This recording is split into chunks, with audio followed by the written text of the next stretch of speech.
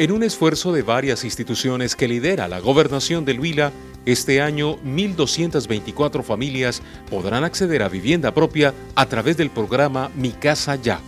El gobierno nacional da un subsidio de 30 salarios mínimos, aproximadamente 24 millones de pesos en esta vigencia. El gobierno departamental da 5 millones de pesos. Los gobiernos municipales ya accedieron con, con la consecución del lote. Algunos van a poner recursos para también dar un subsidio complementario y poder nosotros eh, dar un, un programa de vivienda dentro de mi casa ya al departamento del Huila. Expresar mi gratitud con el señor gobernador del departamento, el doctor Carlos Julio González Villa, con el doctor Rodney Perdomo como director de Fonbihuila, por el acompañamiento que nos han hecho a los municipios y que han tenido la voluntad también de acercarnos al gobierno nacional. Quiero agradecer al gobernador por ese liderazgo en la gestión de recursos para el tema de vivienda.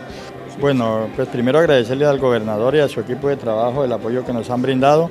Van a colaborar con 100 subsidios, los cuales pues nosotros hemos acogido de la mejor manera. Estamos interesados obviamente en participar en el desarrollo del departamento como empresa. Eh, somos una empresa fuerte en el sur del Huila, en Pitalito especialmente. Las viviendas beneficiarán a hogares de los municipios de Garzón, Isnos, La Argentina, La Plata, Pitalito, Rivera, Palermo, Gigante, Yaguará y Campo Alegre.